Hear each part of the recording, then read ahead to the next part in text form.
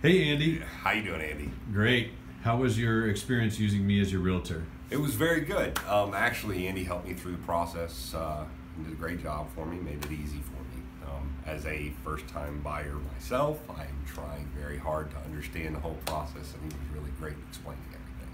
Awesome. Well, thanks.